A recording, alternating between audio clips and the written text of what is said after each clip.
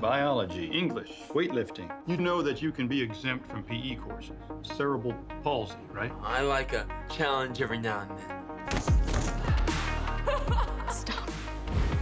Heading for the short bus? I wouldn't want to take your seat. Don't push me. What are you gonna do about it? Mind your own business. I'll see you on the mat later. Just leave me alone. I've got an idea. Let's go. Do you ever wrestle before? Wrestling is a real serious sport. There you go, you got him! It requires a great deal of athleticism and control. It's very dangerous. Give me one chance. I'm a stack of eight.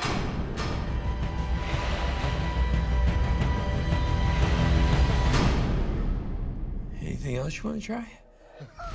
Can I call you sometime? Yeah.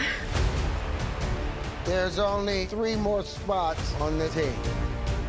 Dad, I just want to show everybody that I can do this. You're not a wrestler. You can best anyone with that mind of yours. Prove that. You're gonna need some more training. You can do this.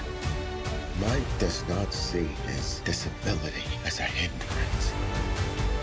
He's stronger because of it. Win from within.